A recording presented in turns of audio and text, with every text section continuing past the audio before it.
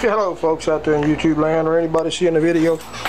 I just purchased this uh, old laser cutter, imager, or plotter, whatever you want to call it off of eBay about a year ago and decided to finally hook it up. Uh, it didn't come with any directions or any instructions or nothing like that, but I've got the machine to go through all the emotion, all through all the motions and seem to have everything hooked up right. It's just I don't see much of a beam coming out of the the head on this thing.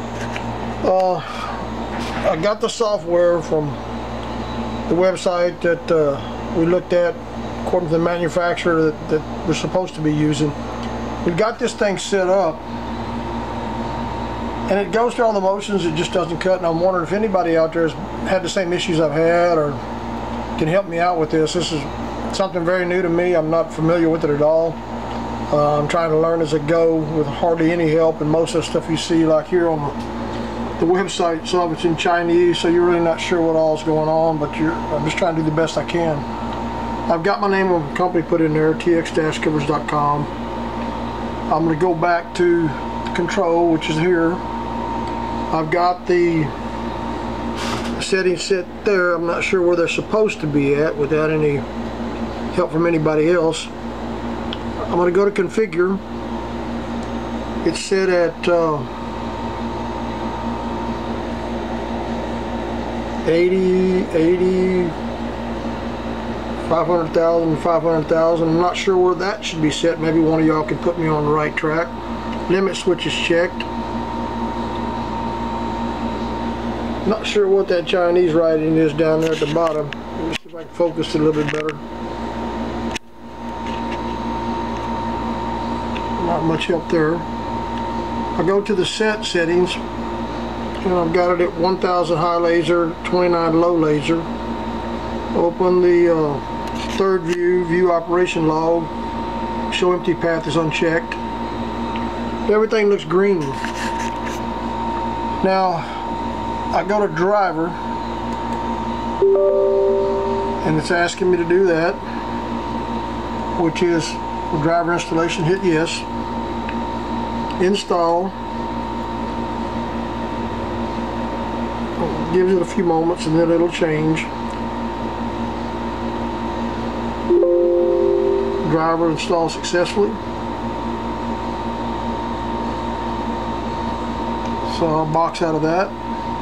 I'll initialize. It takes me through all of this stuff. Sorry about the shakiness, folks. It's kind of hard to hold this camera and read this screen and hit the buttons all at one time. Everything seems to be responding, you know, fairly well. Alright, now I'm going to go up to the top of the page and I'm going to hit, I guess, the green button in Chinese, start. As you see over here, the printer does its thing. I've tried to adjust the, the beam, but it really doesn't uh, get any brighter than that. It's like it's down on power or something like that. And I'm not sure what else to change. I've changed the high laser settings. I've changed the low laser settings. I've changed everything I can. I'm not sure how high the actual laser should be from the item that we're trying to to cut into.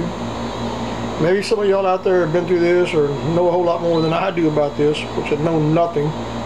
Can give me some input on what needs to be changed here, what needs to be checked, where the problem might be? Is it the machine itself? Is it this thing here in the front, whatever they call that? Uh, I know it ain't the motors because they seem to be functioning properly and it's moving through all the motions. And if you look at the screen, it's following the black pattern, it's going green where it's supposed to be burning. But again, if any of y'all guys out there can give me any input on this, I'd greatly appreciate it. It's a pretty neat little machine from what I've found out so far. I've never used one and never been educated in using one of these. It's all new to me. It's just learn on the go. You'd think that these damn Chinese sellers would uh, actually give us a little more instructions, a little more help, but trying to get help from them through emails is like pulling teeth from a live tiger. I guess I should learn from buying from other countries and maybe buy back from the U.S. pay a little bit more for these products but like I said this was a little old toy that I bought you know, a year ago or so again anybody help me Post some comments down there. Man, I'd really appreciate it. I'd like to get this thing going. It just seems like it could be a lot of fun. Thanks for watching.